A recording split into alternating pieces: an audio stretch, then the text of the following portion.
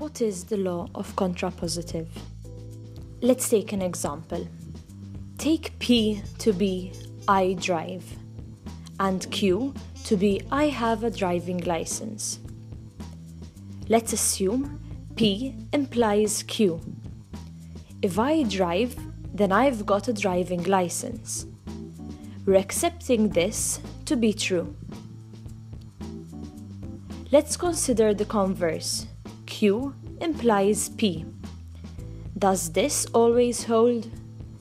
If you've got a driving license, it doesn't mean that you drive. You may not have a car. It does sometimes hold, but not always. When it does hold, it's called an if and only if. Now consider P implies not Q. Is this true?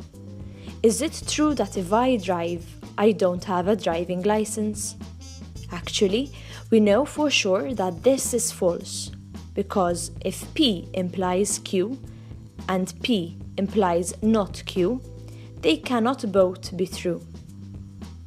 You either have a driving license or you don't, so you have a contradiction, and this is always false. Let's consider the contrapositive. Not Q implies not P. Is this true?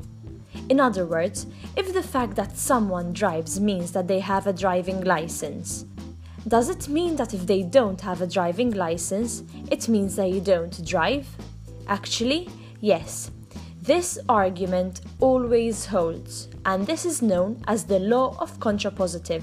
So, whenever you know that P implies Q, you can be sure that not Q implies not P.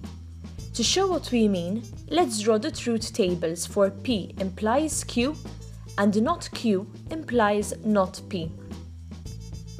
We try out all possible combinations of true and false. As you can see, they're the same.